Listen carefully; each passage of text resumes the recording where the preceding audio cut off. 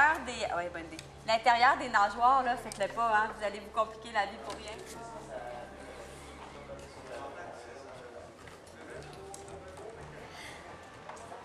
Il y a 100 masques à faire aujourd'hui, mais on a 200 pour, euh, pour le, le défilé.